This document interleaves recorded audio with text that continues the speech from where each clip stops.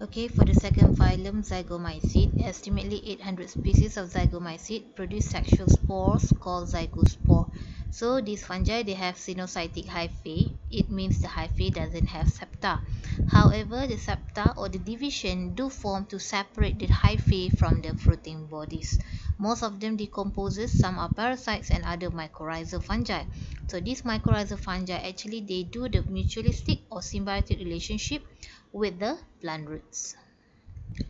The example of zygomycete is Rhizopus stolonifer that break down the bread and other food.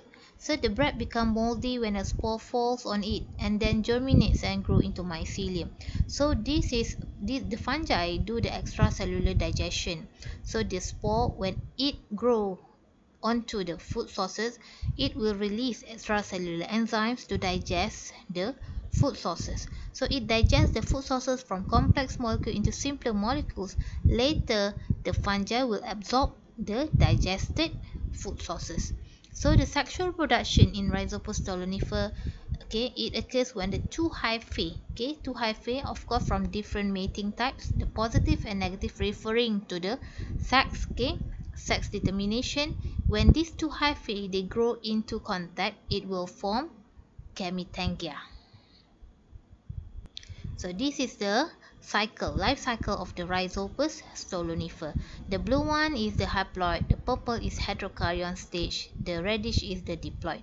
So when these two mycelia, okay, the mating type, positive and negative mating type, they come into contact, okay, they will form gametangia.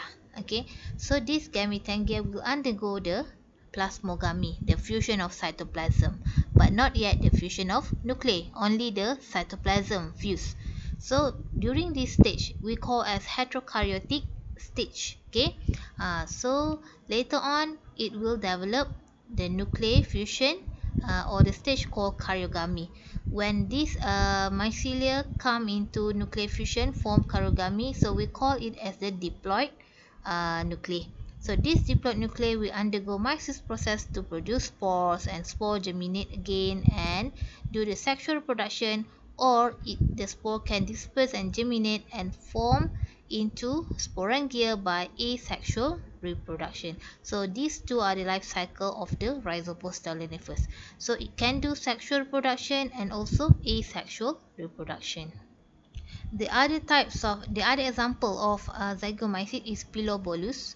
Okay, so this zygomycete, it decompose the animal dung, the animal waste, the animal droppings.